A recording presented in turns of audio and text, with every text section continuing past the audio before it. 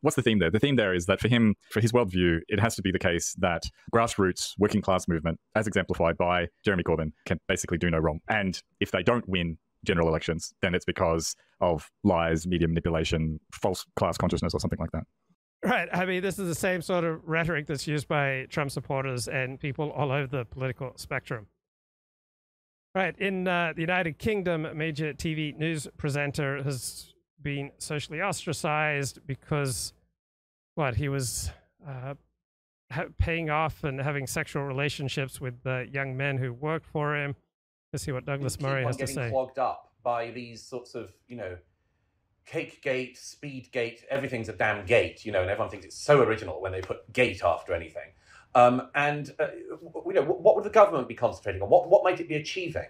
Um, if the answer is not much more, then there's even more trouble that we're in than I thought. Uh, but, my, but my belief is, is that we, we just are horribly misdirecting our, our energies. And yes, uh, there's, there's doubtless scandals going on, there always are. Um, and there are scandals that are of significance. I mean, you just mentioned Northern Ireland, the Stakeknife controversy has come back up again. I don't think that outside of Northern Ireland, one in a thousand households know anything about that. Maybe they don't need to. But it would probably be a more intelligent scandal to look at than the Gordon the Gopher's former sofa mate scandal. Um, I, I, I think that but as I say, the, the, main thing isn't, isn't, you know, where are the scandals? It's a very post Watergate thing that, that, that journalists think that their job is to find all the scandals that exist, expose them, and then win all of the awards. It's, it's a very, it's a very sort of post Watergate way of doing journalism. Sometimes there are scandals, then they should be exposed. But the, the whole of politics, the whole of the country, isn't just a set of scandals waiting to be uncovered. Right. The, the biggest problems we face uh, are not scandals. The biggest problems we face are the results of laws and directions uh, given uh, by elites, such as to not have police do their jobs, such as to pull people over for reckless driving and for not punishing violent criminals. Right. This has all been done with the full consent of the law. there is some fundamental failure of the media in this, but the fundamental failure of the media is a fundamental failure of government. It's a reflection of that, which is the, the fact that government seems not to be able to do in Britain any of the things that we need it to do. Have, there is some fundamental failure of the media in this. Okay.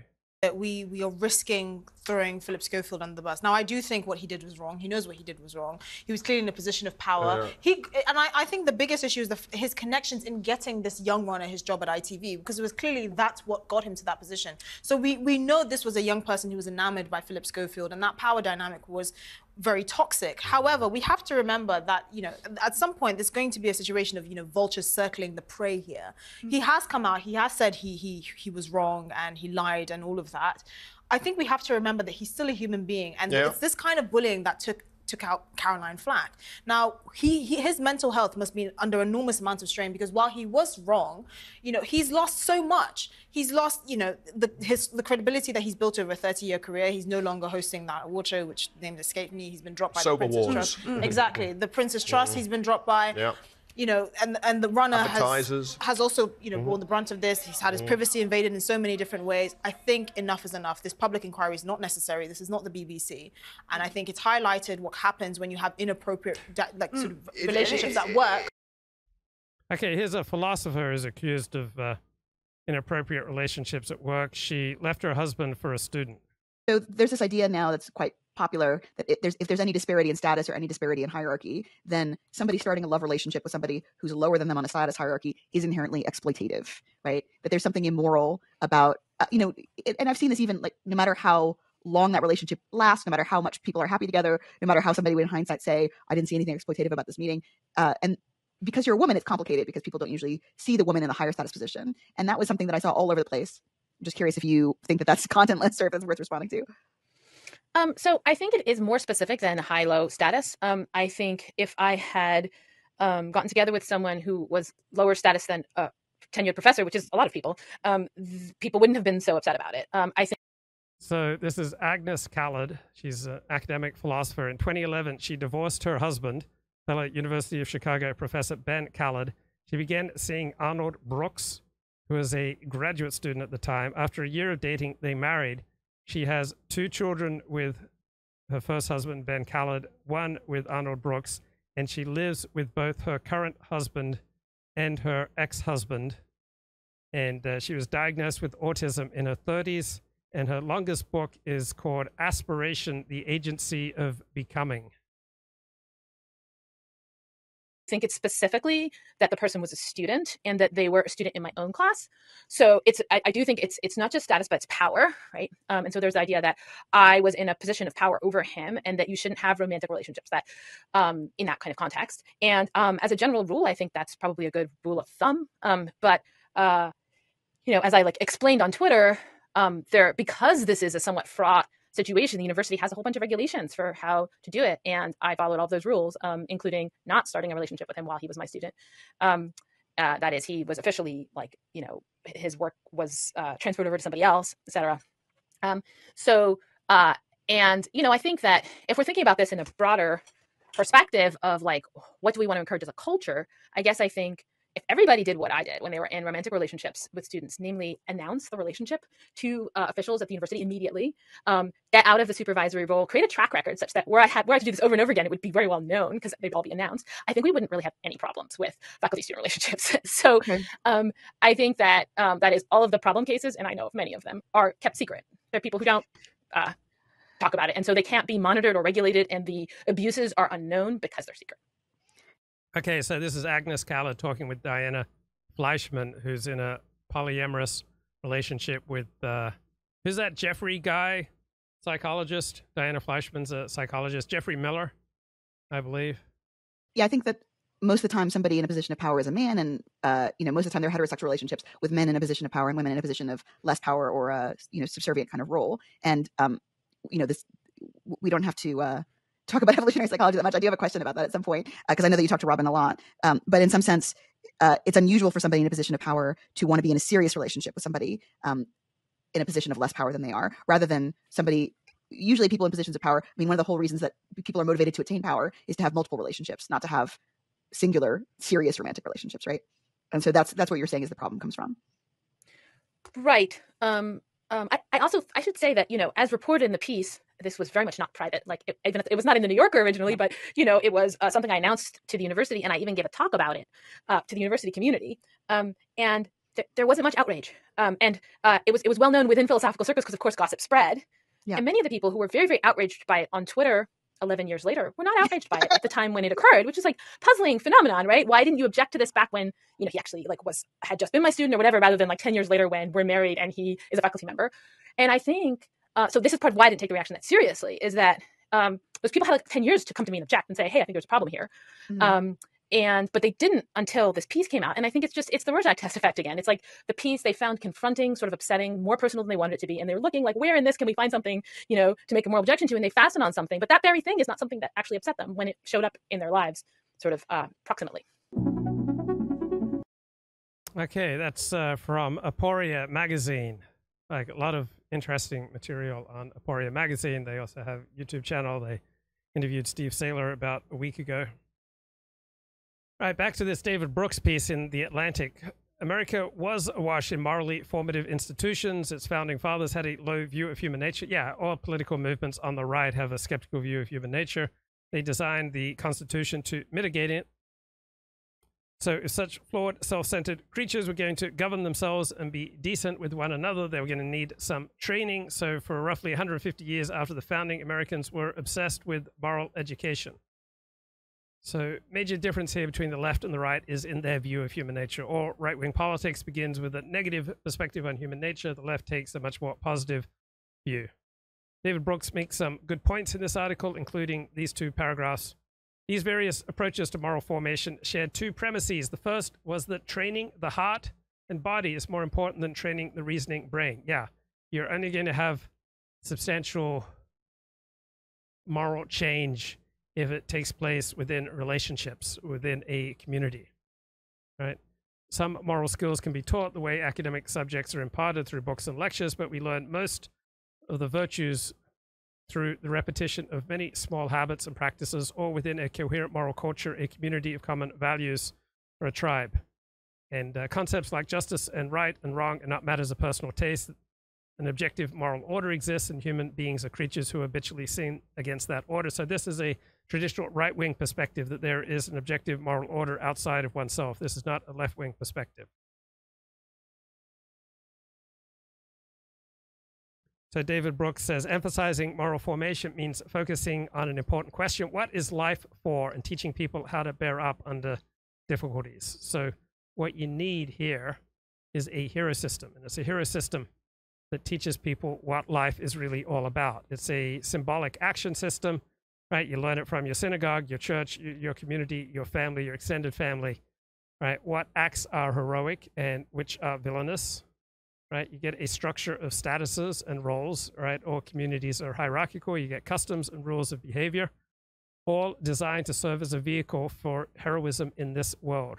So each script is unique. Each culture has a different hero system, but each cultural system cuts out roles for earthly heroics. Right? So it doesn't matter if your cultural hero system is based in belief in God, belief in the transcendent powers of your people. Doesn't matter if it's secular, religious, primitive, scientific, civilized, right? Still a mythical hero system that people will serve to earn a feeling of value, that they are special, that they are ultimately useful to the universe and a system of unshakable meaning. And people earn this feeling by carving out a place in nature within their community by building edifices that reflect their values a temple, a cathedral, a totem pole, a skyscraper, a family that lasts for many generations. So man tries to create something of lasting worth and meaning that will outlive and outshine death and decay. And that's what gives people a feeling that they count. So imagine a person who extends beyond himself, right? That uh, the the people are kind of like an amoeba, that they push their pseudopods out to a wife, to a car, a flag, a crushed flower, and a secret book, right? You get this huge invisible amoeba that spreads out over the landscape with boundaries far from its own center. And if you tear and burn the flag, or if you find and destroy some sacred flower in a book, and the amoeba screams with soul searing pain. Right? We extend these pseudopods of ourselves to things that we hold dear. Right? To your house. Right? People often get vitally upset by a piece of wallpaper that bulges, by a shelf that doesn't join, a light fixture that isn't right. Often people will break into violent arguments or crying over a panel that doesn't match. Interior decorators will reveal that many people have nervous breakdowns when they are redecorating. You can see a grown and silver templed Italian crying in the street in his mother's arms over a small dent in the bumper of his Ferrari, right? Because we extend meaning and purpose outside of ourselves, right? It's not just a scratch on a Ferrari, right? People feel it as something that's very dear and dear to themselves. Right, here's Erin Maglaque, English literature professor talking about 400 years of quarantine, talking in particular about uh, a review of a book called Florence Under Siege Surviving Plague in an Early Modern City, talking about the city of Florence in January 1631, responding to a plague outbreak.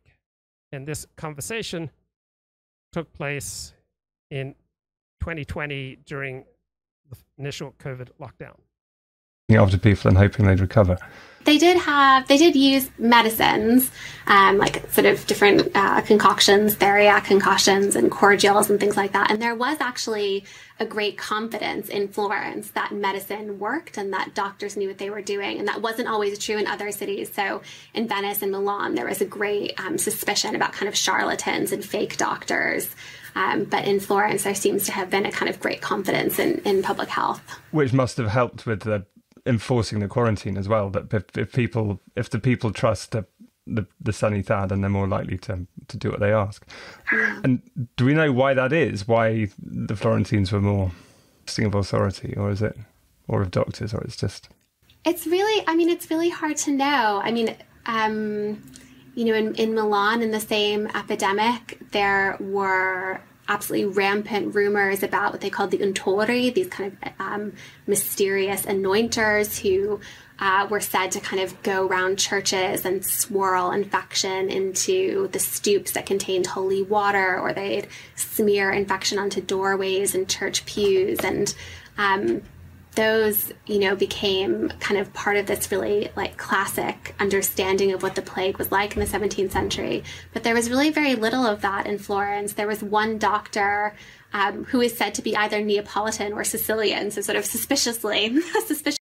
Okay, so Diane Fleischman is in a relationship, or no, married to Geoffrey Miller, a psychology professor who's into polyamory. His uh, website is primalpoly, P-O-L-Y.com. And here's his wife, evolutionary psychologist Diana S. Fleischman. Justly foreign, um, who who was um, accused of poisoning um, poisoning his patients with rotten chickens and things like that. But that seems to really have been the only the only case of that. Okay, um, but were any was that were any?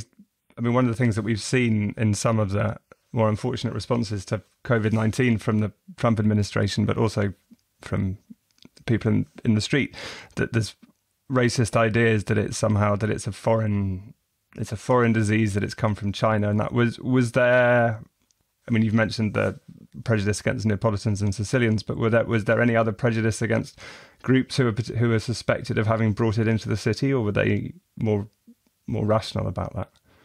I think there are there are lots of prejudices. Um, one that is actually continuous with um, the Black Death, the 14th century plague, is um, suspicion and prejudice against Jews. Um, they were some of the first to be kind of fully locked up um, and quarantined. They thought that perhaps um, their their black hat sort of festered putrefaction, festered contagion, um, and that that was a kind of very common response in Italy at the time. So I love this discussion in that they just take it for granted that there's no reason ever to be concerned or fearful about outsiders, and the idea that uh, strangers, out group members might introduce a plague is just unacceptable. To, to, to be suspicious of Jews. Another um, population who were marginalized were uh, prostitutes or sex workers. Um, sex was thought to generate excess heat in the body. Yeah, why would people stigmatize sex workers during a time of plague? I mean, promiscuous sex is a an incubator for all sorts of illnesses. It seems to me a fairly adaptive response.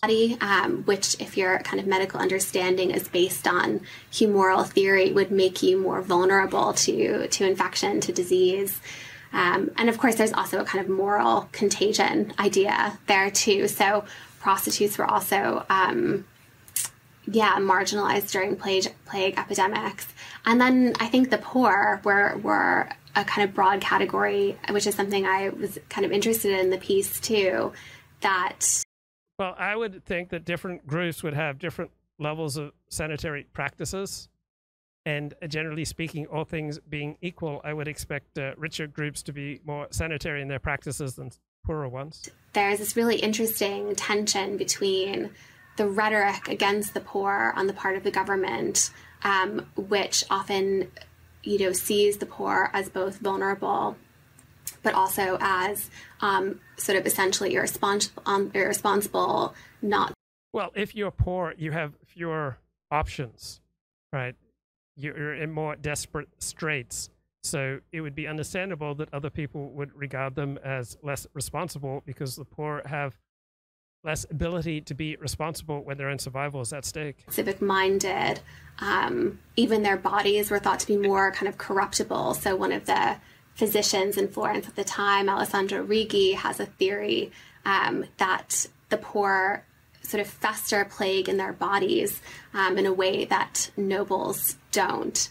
Um, but then on the other hand, they also looked after them and they had this kind of extensive welfare program and food provisioning as we as we spoke about. So there's a kind of really interesting tension there between um, both blaming the poor and and also um, and also looking out for them, which I yeah, I mean that's that's how the world works. People are complicated, right? People can fear a group and have disgust for a group and simultaneously make provision for the group.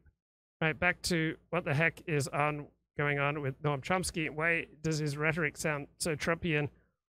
Or is this not rhetoric that is common among dissidents, whether they're on the left or the right. It's also funny to refer to the Guardian as the so-called left. I know that that is a common refrain, especially amongst the leftist side. You know, the, the so-called left-wing Guardian, but like the Guardians, it's pretty lefty by most standards. the real left. That's like the real IRA, right? It's a splinter group. It's true. it's it's all in the eye of the beholder, and um, what I guess it's the corporate left. So let me play another clip which highlights the way he sees this issue. The parliamentary party, the Blairite parliamentary party, did not want to see.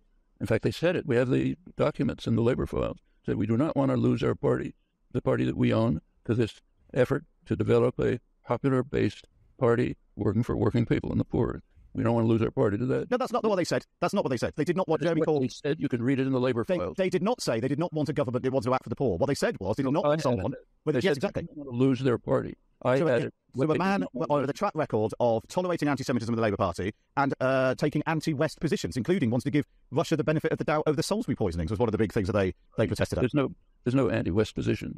I, I do appreciate the British pundit style of interviewing uh, because it's just it contrasts quite distinctly with Lex Fridman's approach, for example, or the Triggernometry people, right? Like yeah, but uh, Noam Chomsky, I mean, it just it's so Trumpian this kind of this kind of rhetoric. All right, here's a uh, little burst from Dennis Prager on his show last week. It puts transgender and gender nonconforming students in quote danger of imminent irreparable harm. Wow. talking about school districts in California that mandate the parents be notified if th- their children in public schools change genders. W- wouldn't the parents know anyway? By potentially outing them at home before they're ready, according to the lawsuit. Really, you're in danger of imminent irreparable harm. Maybe you're in danger of imminent irreparable harm when you fall into the hands of so many sick so called therapists who say to the eight year old, Oh, you think you're a boy? You are. The profession of psychology and the profession of psychiatry have been so denuded of excellence and truth as to become a farce. Most psychiatrists and most psychologists are frauds to their profession. Uh, yeah, but okay, I think that's somewhat of an overstatement. But uh, what about talk show hosts? I mean, couldn't you make all these same arguments about talk show hosts such as Dennis Prager? So I, I largely agree with Dennis Prager's analysis here, but I think he is overstating it. And I think his analysis would equally apply to people such as himself. I've always known this. This is not new. How many psychiatrists announced in 1964? Was that two generations ago? That Barry Goldwater was mentally ill? The, the profession of psychiatry, for reasons I do not know, since in its core it can be terrific. It's a profession that's highly subjective because there aren't blood tests, right? There aren't concrete tests to determine psychiatric illnesses. So it's a profession that is largely revolves around achieving billing through insurance companies. And so making diagnoses that insurance companies will pay for and providing medication that is supplied by pharmaceutical companies. Right? So meeting economic incentives has you know, created the psychiatric profession as we know it. The profession of psychiatry apparently breeds a particularly narcissistic fool, arrogant fools.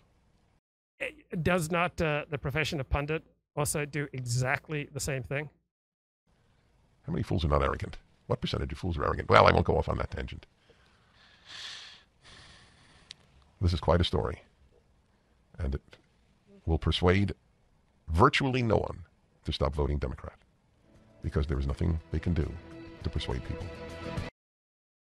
Okay, overheated rhetoric there from Dennis Prager. Let's get back to analysis, analyzing Noam Chomsky. Yeah. whether or not you agree with Matt Trolley's response, I think it's better that he presents the, you know, like a kind of, no, no, no, it's like this, because you can also hear Chomsky respond then to the critique. The UK is famous, isn't it, for its competitive journalists? They don't do these softball interviews.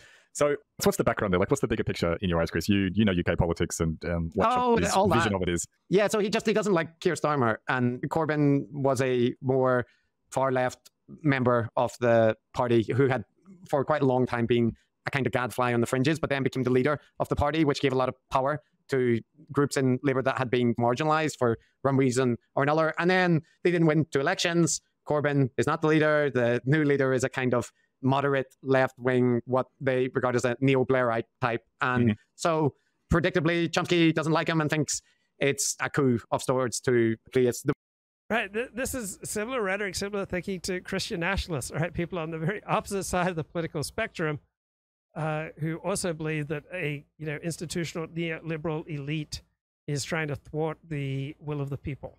real party of the people that was being built with a defanged conservative party light version thereof. And and the part which is sort of interesting is there's these endless reports flinging back and forth about anti-Semitism in the Labour Party and accusations that it's been oversold or that it's being under-recognized, depending on, on how you look at it. But I think what is pretty much non-debatable, wherever you fall, is that it's being a topic that has been used on both sides, right? It's been used as an opportunistic attack as well as it's being denied, you know, it's being painted as just a smear. And, and there are actual grievances, there are actual reports, but there are also reports showing that various factions are weaponizing it or accusing it of being weaponized. So the anti Semitism is real. There were real concerns.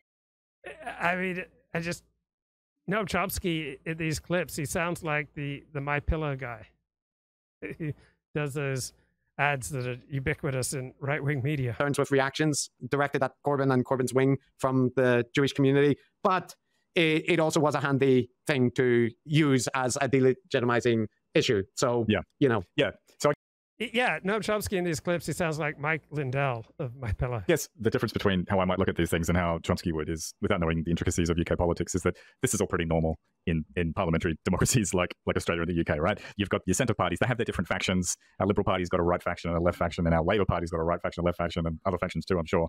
And when you know these different factions, sometimes one has control, sometimes the other has control. If they're not doing particularly well in the polls, if there's some scandals or you know difficult things going on, then they get knocked over, and the other group gets in and gets to run the show for a while. So it all seems like like pretty much par for the course. Standard. Yeah, but the, that's not how Chomsky looks at it, right? It's it's th- No. there's a plot essentially. There's the mechanisms of neoliberalism coming into play to get rid of the people's choice and what the people want. Yeah, and for example, in the way that he presents Corbyn, it's not just that he's a person with a particular political agenda, it's that he's a very good person with a very important political goal that Right. Thinking of our institutions, it's been almost 22 years since 9 11.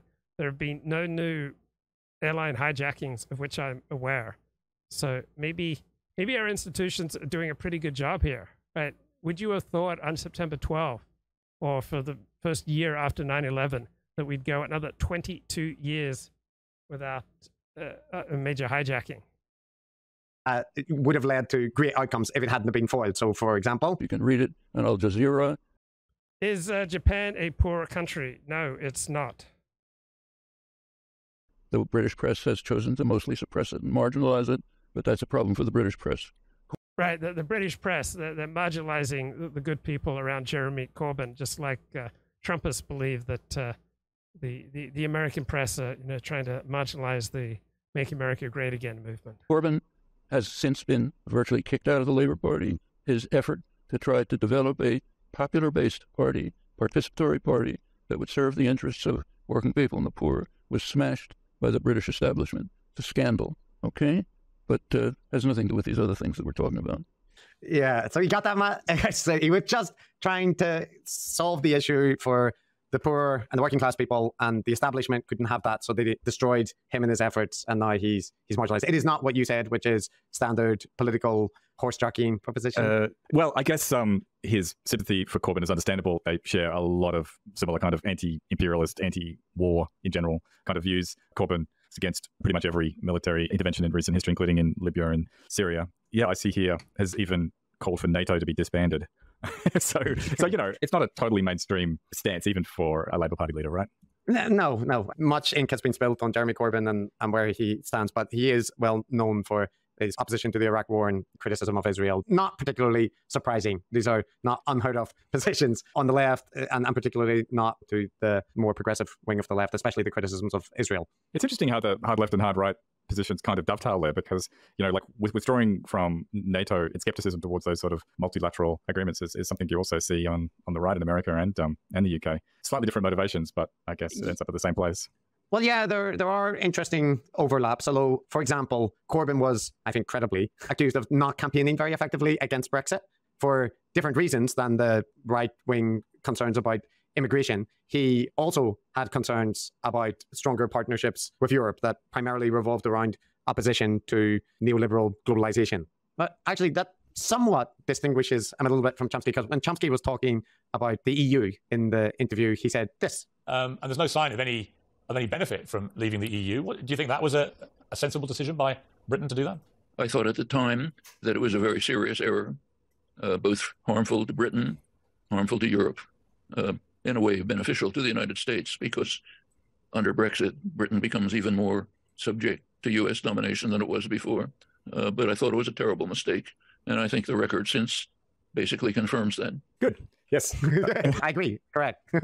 and, uh, and there is a clip Matt, of him summing up Keir Starmer for you. I actually don't think he gets much wrong here, but this is him discussing Starmer. Well, so far, there are people like uh, Will Hutton, for example, who think that Keir Starmer has all sorts of fine plans for um, social reform and so on. I don't see any evidence of it. All he's been doing so far is purifying the Labour Party of any militant activist elements and uh, putting it under more central control, eliminating people like Corbyn, of course, Driscoll recently, others who do um, work for a constituent-based party with uh, dealing with needs of the uh, constituency, labor constituency. So it seems to me we'll, he'll probably move towards a Blairite-style parliamentary, elite parliamentary party, Thatcher-like. Well, Keir Starmer seems a technocrat. He seems pretty effective. He seems to be moving towards the center. He's got to be an overwhelming favorite to be Britain's next uh, prime minister. Uh, regarding leaving the European Union, I was quite supportive of Brexit when it happened, but now I have to admit that uh, overwhelmingly it seems like it's it's a negative thing for Great Britain. Its economy is suffering.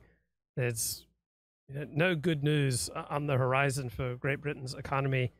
I'd have to say, from what I know now, uh, leaving leaving Bra- uh, leaving the European Union was a disaster for Great Britain.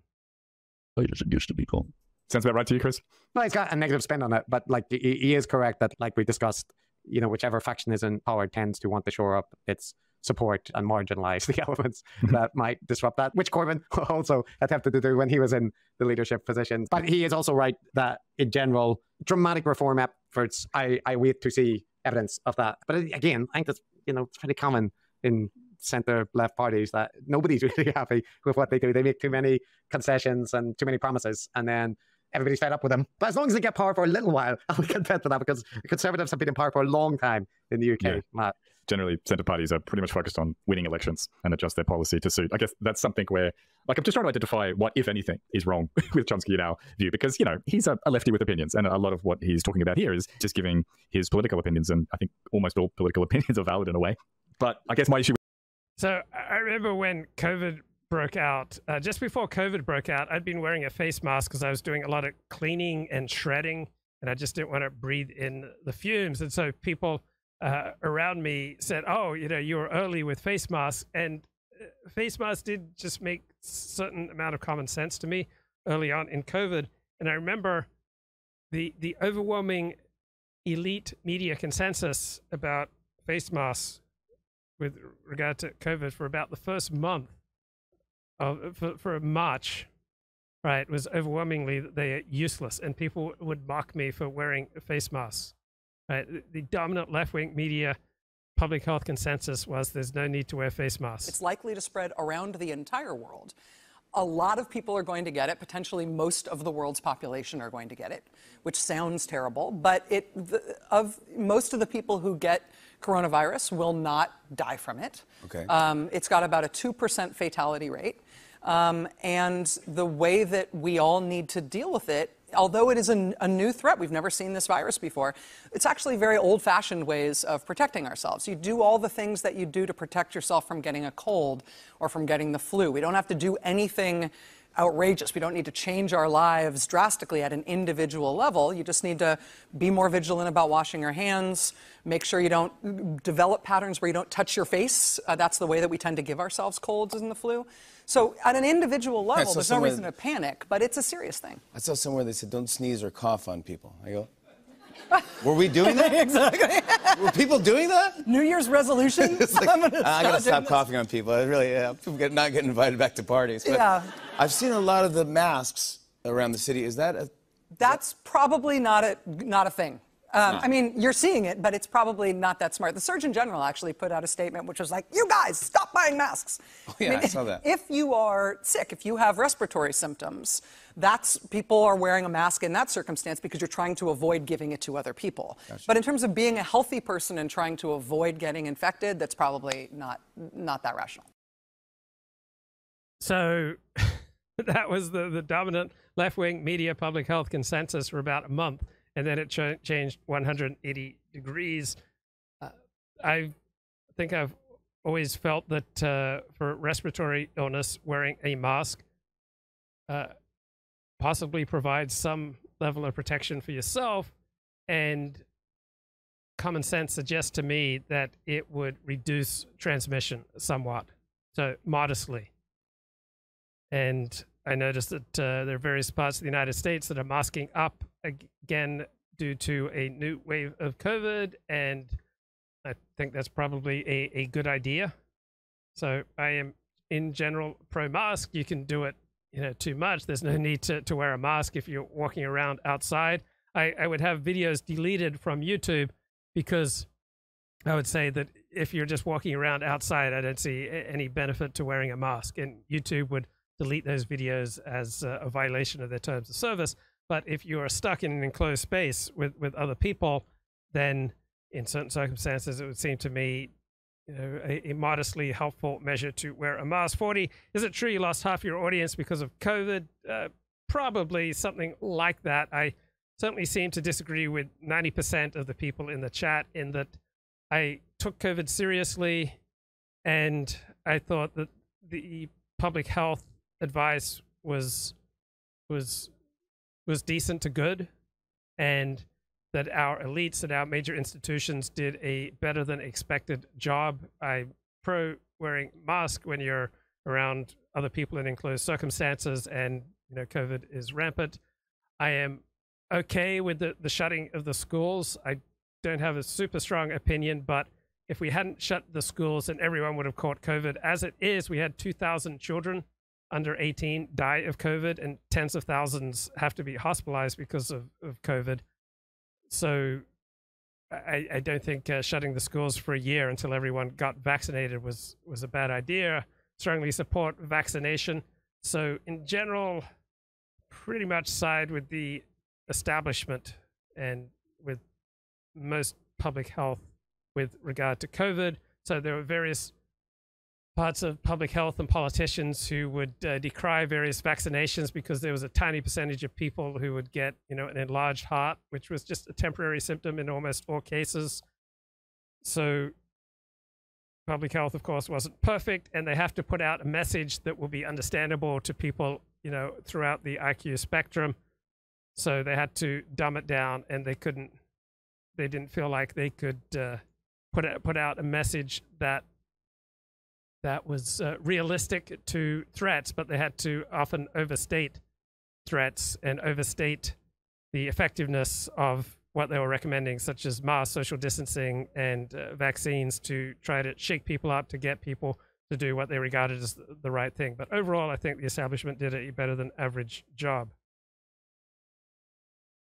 40 should wear a mask until the end of time to prove he is pro social. No, what's pro social depends on a certain context if you are in an enclosed area with other people and you have a respiratory illness or there's a respiratory illness going around, in that context, wearing a mask seems to me a good idea.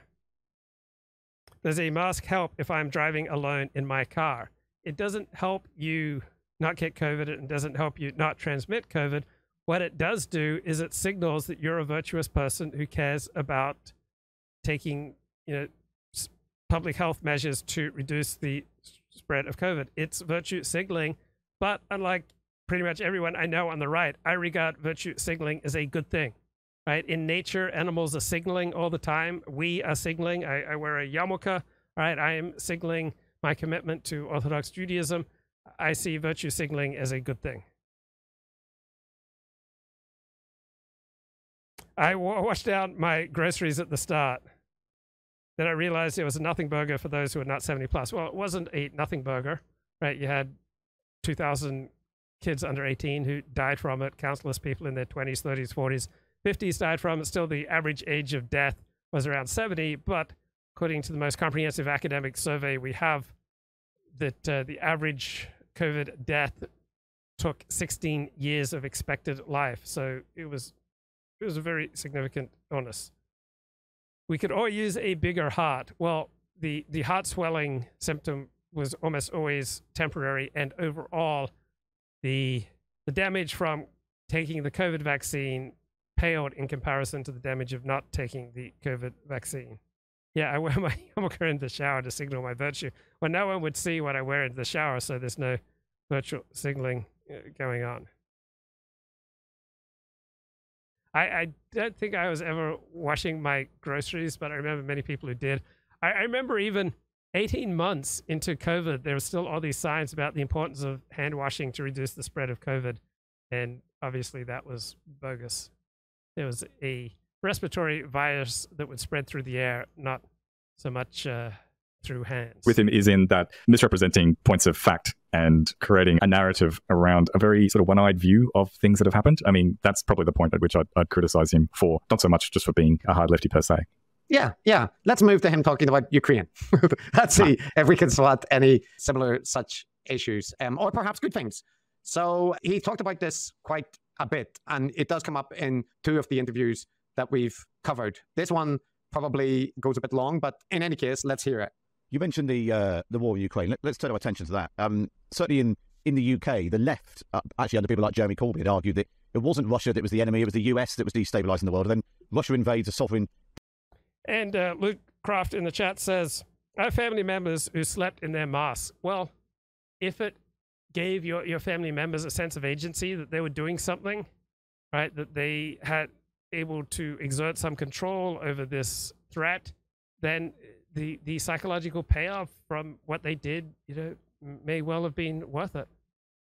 Right? We, we do all sorts of things to try to feel like we're more in control of a chaotic world around us. democratic country right on its on its border, starting a con- conflict which has claimed tens of thousands of, of innocent lives. Does that not make clear that who the real threat to the world is? It's not the US, as the left is, has argued. Uh, Horatius says people will believe anything the government tells them shows that the power is all that matters, not truth. That's not true. People will not believe anything the government tells them. All right? People did not evolve to be gullible. Right? There are all sorts of things that the government tells people that they don't believe. Uh, particularly in the United States, there's probably more suspicion of the government in the United States than in any other first world country of, of which I'm aware. for a long time. It's, it's Vladimir Putin's Russia.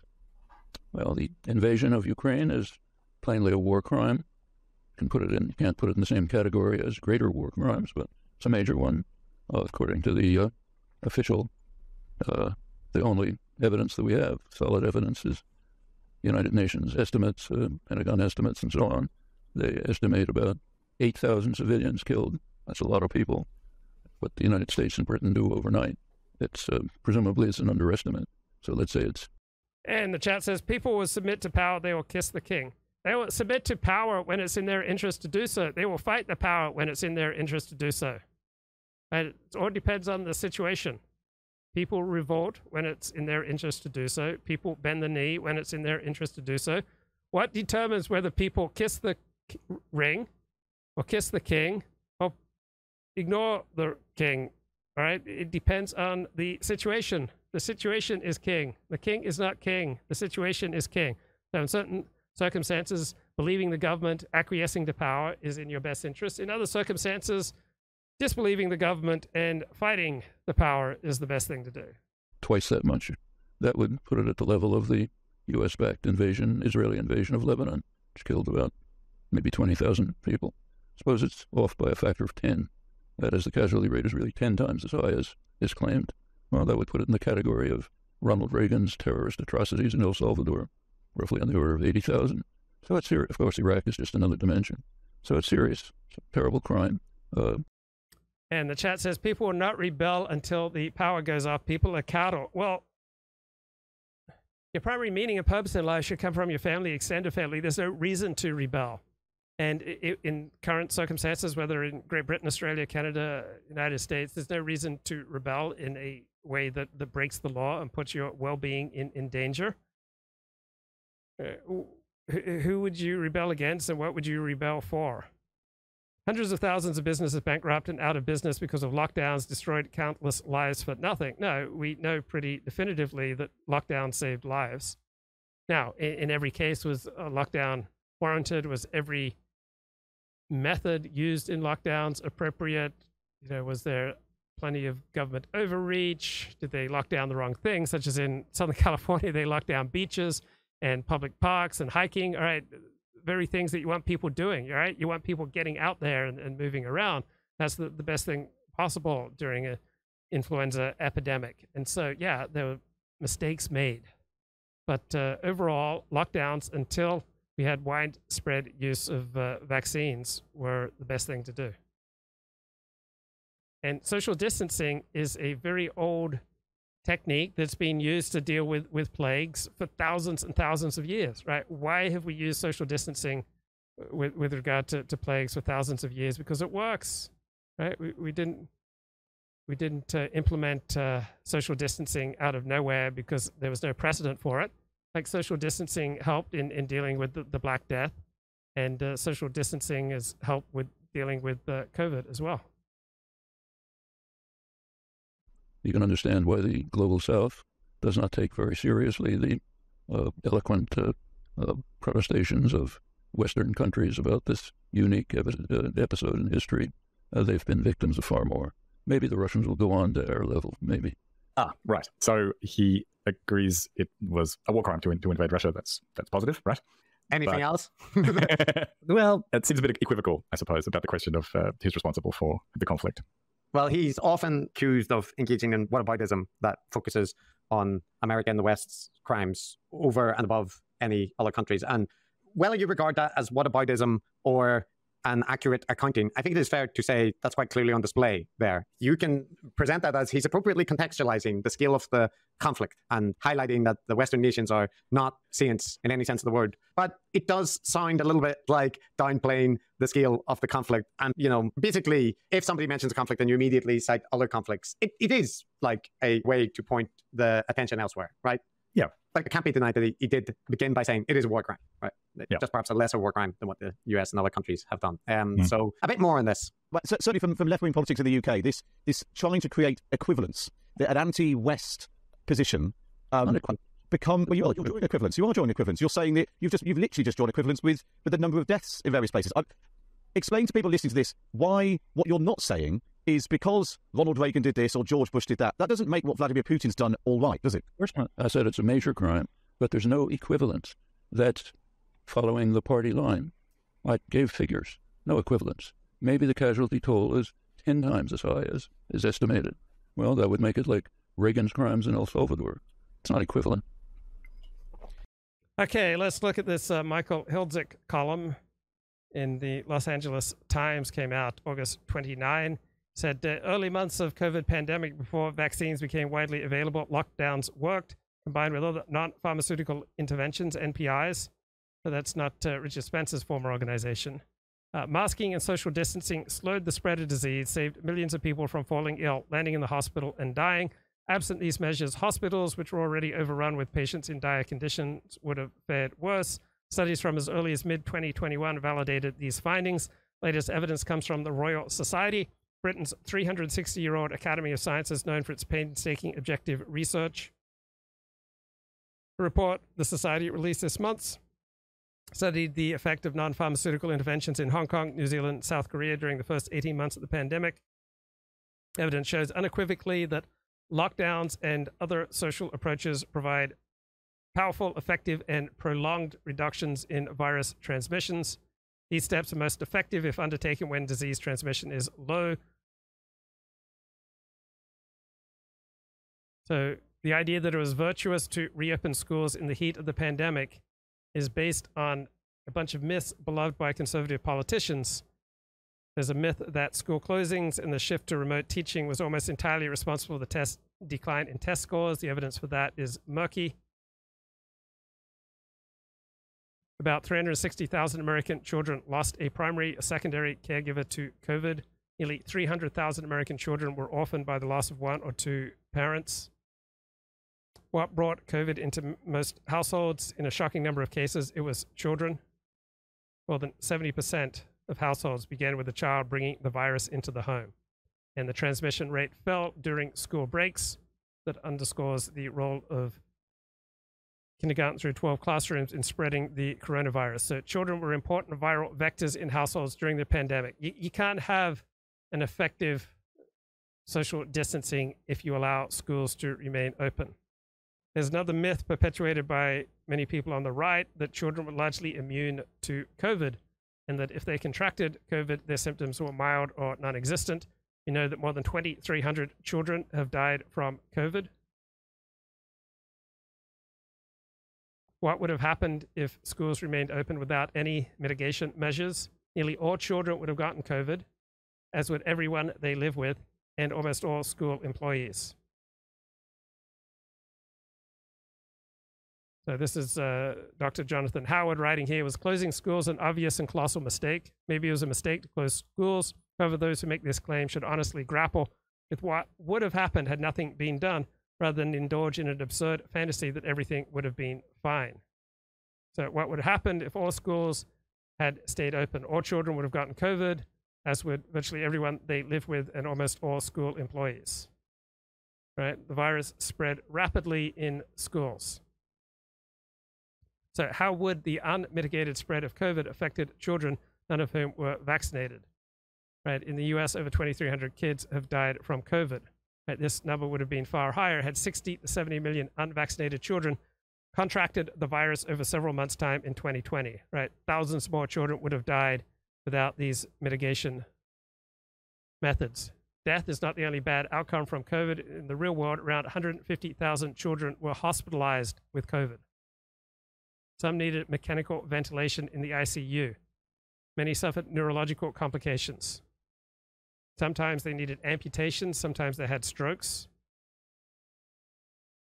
All right, now, the vaccine has drastically lowered the risk of these rare but grave outcomes. But many more thousands of children would have been hospitalized and developed severe complications if the schools had remained open. Uh, many pediatric hospitals were already deluged during the Delta and Omicron waves. They would not have had the resources to treat sick children had tens of millions of sick children contracted COVID in a short time, particularly considering many healthcare workers were sick with COVID at the start of the pandemic. Many healthcare workers would have contracted COVID either from their jobs or from their own children had no mitigation methods been taken. So, over 300,000 American children became orphaned by COVID. New York City, one in 200 children lost a parent in the first two years. Not all children experience COVID as something light, not all bounce back immediately. Many children felt too sick to attend school. During the Omicron wave, 30% of New York City students were absent. So, if schools had reopened without mitigation measures, many children would have missed school anyway for these reasons. Teachers would have been at risk. So, from May 11, 2020, article in New York, New York City Department of Education has now lost 74 employees to COVID. 30 were teachers. Even after vaccines became available, 15 Miami Dade educators died from COVID in 10 days. So more educators would have died, none of whom would have been vaccinated in the pandemic's first nine months if no mitigation measures had been taken. So would teachers really have been willing to work in schools with no mitigation methods? In the real world, sick teachers couldn't teach anyway. So many principals were begging parents to act as substitute teachers. Had a headline from Texas, September 2021. At least 45 districts shut down in person classes due to COVID 19 cases affecting more than 40,000 students. One school in New York City sent a notice that though it was open, the kids were just going to hang out in the auditorium. There weren't enough teachers, so the school was nothing more than a daycare center. So many educators would have been out sick had no mitigation measures been taken. Who would have taught the students? But uh, I suppose some people listening to this will think you're seeking to excuse what No, legislative truth has done. That is a fabrication of the right wing. I am not seeking to excuse anything. I said it's a terrible war crime. That's not excusing anything. I'm talking about the extreme hypocrisy of claims about well, how this is the worst thing that ever happened when it's a fraction of what we do all the time. Hmm. What about that, Matt? Well, it does remind me of some of the less salubrious type of Twitter discourse where um, you might find people comparing death counts in various The gulags conflicts. versus the concentration camps, for example. Yeah, yeah. So it seems a bit tangential to me, frankly, like precisely how many people died here compared to there. Because I don't know. There's other factors at play. But yeah, so one thing I think which is worth noting is Chomsky remains pretty clear there, right? First of all, he's saying there's not an equivalence. The West is, has a much higher death toll. So he's saying there isn't an equivalence because it's it's way smaller in the, the case of Yeah. the Ukraine conflict. And second, he is clear, though, that he didn't justify it, right? Like he, he says, no, I've been clear that I said it's a war crime, a lesser war crime perhaps, but he he is quite clear, right, that he's he's not saying it's okay. He's mm-hmm. just wanting to say the West is worse. the West Yeah. is worse. Yes, you're right. That's a good summary. I think that's a fair appraisal of what he's what he said. Yeah. Yeah, and uh, Matt Chorley, the interviewer there, is highlighting that that response can be seen as minimizing what's occurring. And I, I don't know, Matt, but there is something about like, has the US in recent decades threatened to nuke a country after annexing a portion of it? Because that does seem to be like there are differences. You can have legitimate critiques of a whole bunch of the stuff that Western nations have done around the world, and there are plenty of well documented colonial events and holdovers. But Vladimir Putin's rhetoric about the willingness to use nuclear weapons, the dire threats that will be coming to anyone who dares stand in their rightful reclamation of their territory, and it does seem different. Look, I'm always very wary about comparing the magnitude of bad things in just in terms of these raw numbers because it's it's terribly flattening to do that. So you could compare Ukraine to say the Korean War. You go, well, you know, the Korean War had this many hundred thousand casualties, so the US is a bigger criminal than than Russia. But that just totally ignores the context and the causes and who was instrumental in invading whom and a whole bunch of things. So look, there's no doubt. So, Decoding the Gurus did an episode on Ibram X. Kendi. So, inside of you, two, there are two walls. One of them is uh, racist. There can be Let me find. the measures that are targeted. For instance, that it- Okay, let me you're find saying the- Kendi is you know policy. It could well be the Australian federal policy has. This is what a lot of people in regional Queensland think that, that it disregards people living out here and doesn't value them and so on. They, they're quite resentful. In fact, it, it could well be the policy feeds into it as well. But uh, I don't. I think primarily, actually, it's more history. And so maybe I- I was too quick to respond because, like, I agree. That's what that's kind of what I mean. Like historical factors, but not necessarily the historical discriminatory factors between groups. It can be a whole bunch of things that might exacerbate that some groups are favored over others, but that they can be just geographical things or so on. but also cultural, Chris. I mean, one of the things that you, is really apparent in the area that I live is that the the local people here, who again I emphasize are, are white Australians, they they just they usually multi like you know like more than fifty percent of Australians are first or generation immigrants, but people that I'm thinking of are like third generation or so. And one of the things you notice about the culture is that they don't value education, and they often get married very young. You know, it's, it's kind of like the stereotypes of the American Deep South, I suppose, uh, on the, how true they are. But you know, like culture, culture does feed into it, and it doesn't mean that there's anything wrong with with the people. And there, there can be historical reasons for cultural, right? But again, you're chicken and egging, and not you. I mean, in general, the interrelationship of culture and historical circumstances is interact. Yeah, exactly. It's a yin yang type scenario. Yes, and there's a point where actually I think it's in the Ezra Klein interview where Ezra brings that up. I think one question somebody would have is why can't it be both and? Like, why can't there be some differences in cultures or geographies that people come from or whatever it might be, and also that there is racist policy? What makes you certain that it is all one as opposed to some of one and some of the other? Well, I actually do think there's there's racialized difference, and so obviously geneticists have found that uh, there's a such thing as ethnic ancestry, and of course each ethnic group has been racialized. Of course, to a large extent, those Okay, that was Ibram Kendi speaking. Horatio says mail in voting caused by COVID lockdowns has given an advantage to Democrats that will never be overcome by the Republicans. Unless a big shift happens, GOP is completely done for. There's absolutely no reason the Republicans cannot be as effective in mail in voting as Democrats. The Trump campaign got a record turnout, right?